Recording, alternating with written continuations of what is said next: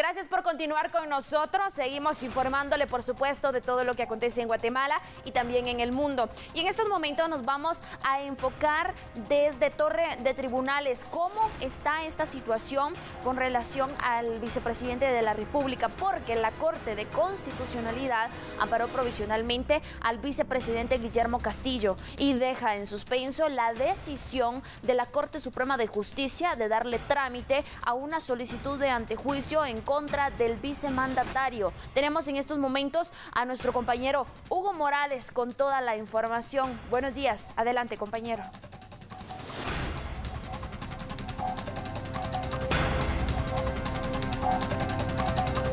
Buenos días amigos televidentes. Así es información importante respecto a una solicitud ante juicio que se había presentado en contra del vicepresidente de la República, Guillermo Castillo. Y es que la semana pasada la Corte Suprema de Justicia acepta para su trámite esta petición de retiro de inmunidad en contra del funcionario. Desde cuenta, durante el fin de semana, el exmandatario, el vicepresidente de la República, presenta una acción de amparo en la Corte de Constitucionalidad considerando de que pues no le asiste la razón a la Corte Suprema para haberle dado trámite a esta petición de juicio en su contra. Desde cuenta, el domingo, el pasado domingo, la CC le pide a la Corte Suprema de Justicia que envíe el expediente original de la solicitud de antejuicio en contra de Guillermo Castillo, además de que también envíe un informe circunstanciado. En este informe circunstanciado, la Corte Suprema tiene que explicar qué le motivó a esta institución a aceptar para su trámite, como también en este documento pues se tiene que indicar cuáles fueron las razones de forma individual los votos de los magistrados.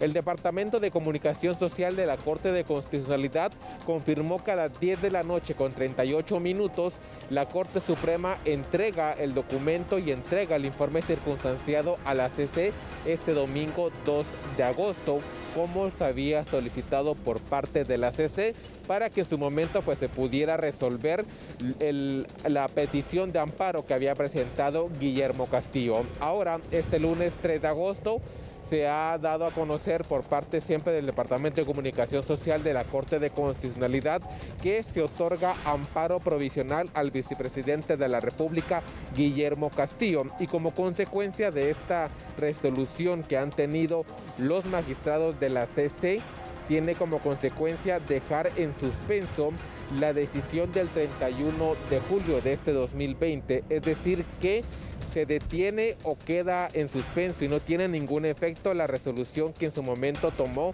la Corte Suprema de Justicia de aceptar para su trámite esta petición de juicio en contra del vicepresidente de la República para enviarla al Congreso como lo establece la ley.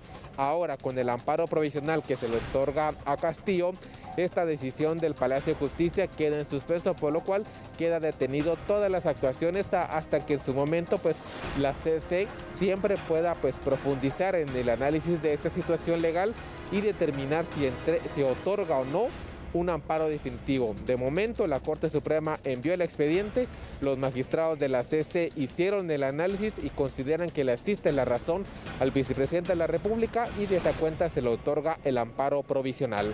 Es la información que puedo compartir con ustedes. Regreso al estudio principal.